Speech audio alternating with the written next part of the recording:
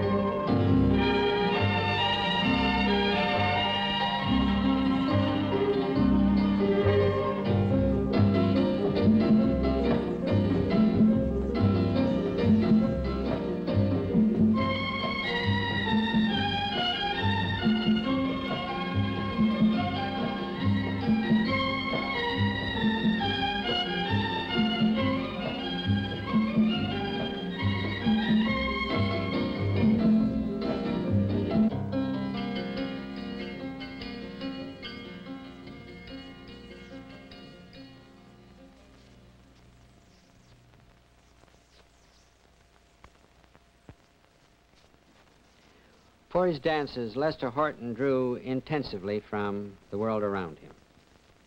One of his works was called Dedications in Our Time, saluted individuals and forces with which he was familiar. One part was a tribute to the Spanish poet Garcia Lorca, another to the American writer Carson McCullers. Still another was a triple tribute to Mary Wigman, Martha Graham, and Ruth St. Denis all of them greats in the American dance field. Still another portion was inspired by the harrowing experience of Hiroshima. The dedication which we are about to see is called simply Orozco. It salutes the great Mexican painter and muralist, Jose Clemente Orozco, who immortalized the Mexican Revolution in flashing colors and powerful figures. The dancers, Mr. Lavallade and Alvin Ailey. Thank you.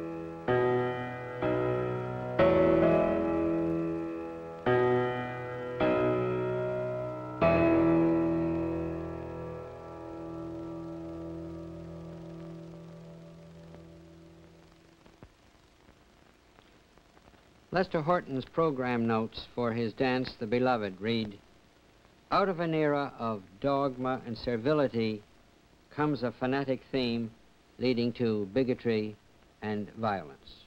James Truitt and Mr. Lavallade dance The Beloved.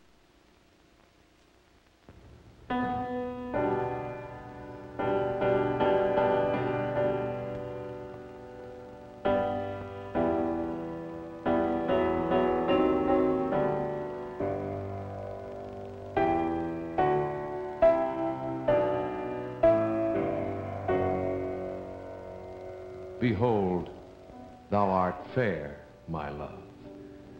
Behold, thou art fair.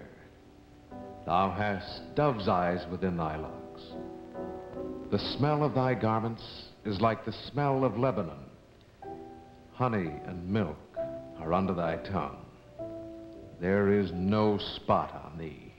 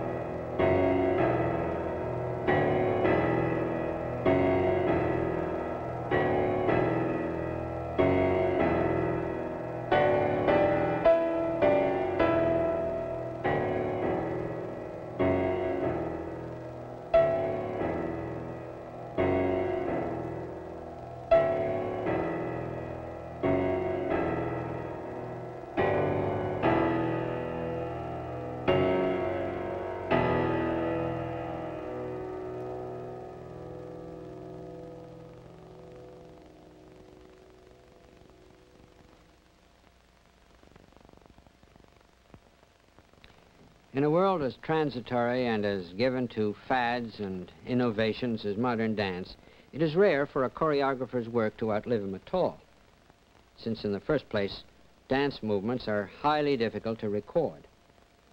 In 1959, James Truitt was awarded a John Hay Whitney Foundation Fellowship to come to New York to study Labanotation in order to record the technique and choreography of Lester Horton.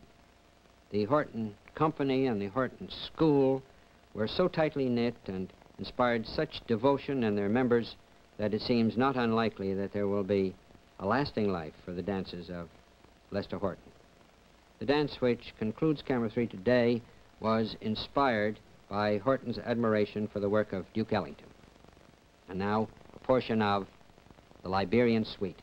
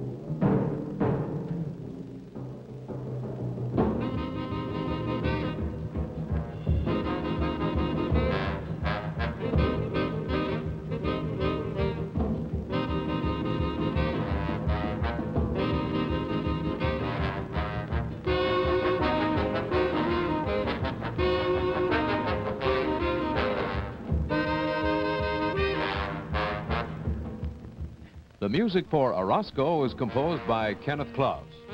Music for The Beloved was composed by Judith Hamilton. The pianist was Lucy Brown.